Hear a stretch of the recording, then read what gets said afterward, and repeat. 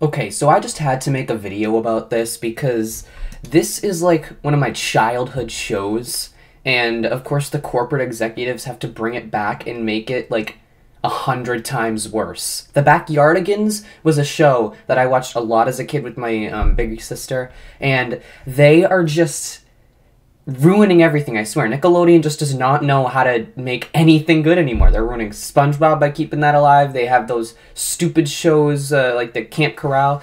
Rugrats they've ruined, and now they're going to my favorite show, Backyardigans. I hope this isn't like a secret announcement hinting at like a Backyardigans reboot, because they're going to be using this art style uh-uh, uh-uh, no way. This looks like Cocomelon shit. This looks like it was made with AI. Like, none of this looks like it has any passion put to it at all. It literally looks like YouTube brain rot that, like, my five-year-old cousin would watch. Like, what the hell is this?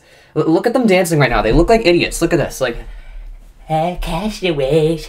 We are castaways. Oh, like what the heck is this? This is this is literally the biggest piece of dog shit I've ever seen related to the Backyardigans. Like, look at their eyes; they're so big. Like, this is.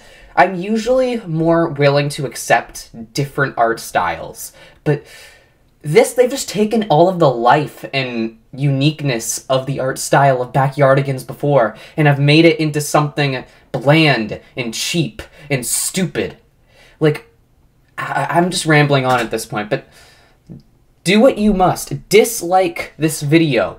Make the Nickelodeon executives see we hate this reboot and we do not want our future generations falling in love with this version of the Backyardigans. Because this isn't soulful and full of heart like the old Backyardigans. This is just slop. Just ways to increase numbers for Nickelodeon, okay?